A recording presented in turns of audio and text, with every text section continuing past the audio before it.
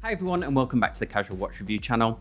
Today we're going to take a look at a micro brand by Dailos Watches, a brand based in Singapore. This is not the first micro brand that we have seen from Singapore, far from it. So I'm expecting big things from this watch as usually watches coming from Singapore, typically very well designed with good attention to detail. This model is the launch model and known as the Waveform. The watch here will be launched on Kickstarter on the 1st of November 2020. This version is the Ghost version and unfortunately is my least favourite of all the colourways. No slight on the watch, but I'm really not a fan of black PVD or DLC coated watches. I feel the look can make a watch look very cheap sometimes. Here, the shame is it's covering up a grade 2 titanium case. So visually, you're getting a watch that is solid black here with PVD, although the production one will be DLC coated for better durability. But the lightness of titanium, honestly, I thought it was made of plastic composite like a Marathon Navigator when I first felt it. I think I honestly would go for for the other variants unless you're really committed to the black. The blue and the midnight black for me look awesome. Also, the lume shot here on the black prototype is just awful, unfortunately.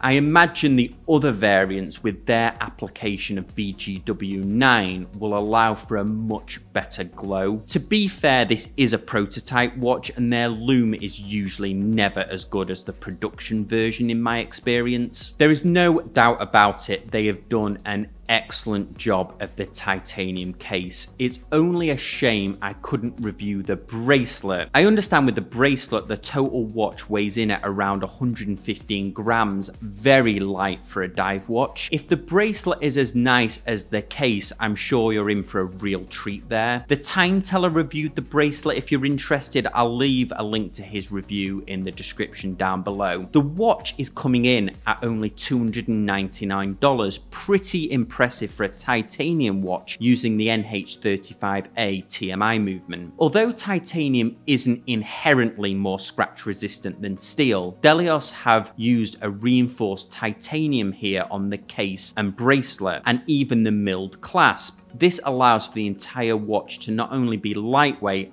but also much more scratch resistant than traditional titanium. Whilst we are talking about the case, let's look at those measurements, but first a special mention and 10 out of 10 marks for having drilled lugs. I joke on our Casual Watch Talk podcast that I think I'm honestly more of a watch strap collector than I am a watch collector these days. I love being able to swap straps on my watches and give them a totally new look. Drilled lugs make this so much better. Let's look at those case measurements we have a 40 millimeter case, 47 millimeters from lug to lug, and a 13.7 millimeter thickness, including the crystal, and a 20 millimeter lug width. So a very wearable dive watch, and the lightness of the titanium, you honestly don't feel the weight of the watch at all. If you have a smaller wrist or find dive watches bulky, I think you're honestly going to be okay with this one. The bezel is very nicely finished and doesn't fall into the trap of most titanium watches where the bezel can feel very cheap sometimes. This one has a nice click. Here it's 90 clicks the production one will feature a 60 click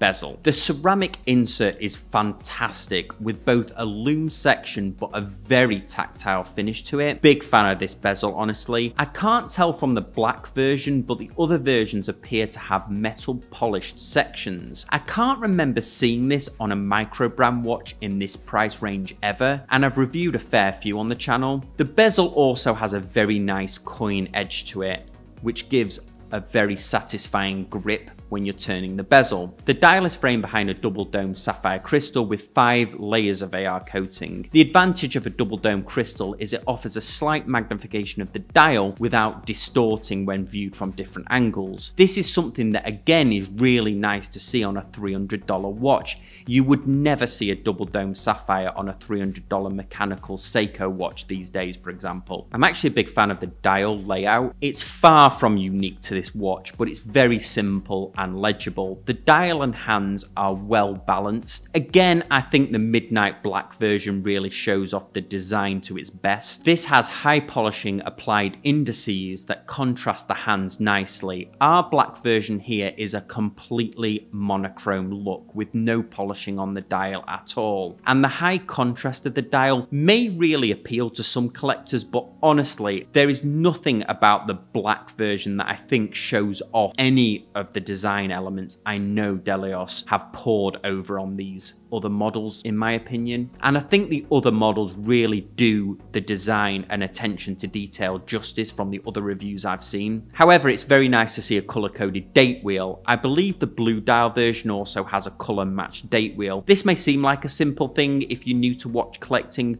but you typically never see this on mid-tier main brands. Due to its lightness, the watch is very comfortable to wear. Here you can see it on my 7.2 inch wrist. The crown is nicely placed at the 4 o'clock position, although I think the crown could be slightly bigger for my taste. It's screw down of course and boasts an impressive 300 meter water resistance. The watch runs the NH35A movement. This is a workhorse TMI movement in the Seiko family of movements. Not only is it a reliable movement, but any watchmaker can work on this type of movement, and of course they offer their own warranty. Denzel, who owns and runs Dailos, wanted to create a quality watch at extremely affordable prices. Being the sole owner of the company is able to keep the prices low while having great specifications for the watches, and I would say he's probably succeeded here. The Waveform launch price starts at just $299. You know from the other kinds of micro brand watches I like to review on the channel that the sub $500 micro brand sector has a lot going on vying for your dollars. There is a lot to choose from. As much as I didn't like the PVD version, I can tell from the watch that the Midnight Black or other variants might be right for me personally, but you have a tough decision to make. The micro brand scene is just getting better and better at the moment. Let me know what you think in the comments section down below, and if you're a new subscriber, let me know so I can say hi. As always, I appreciate you watching, and I'll see you next time on the Casual Watch Review channel. Thanks guys, bye.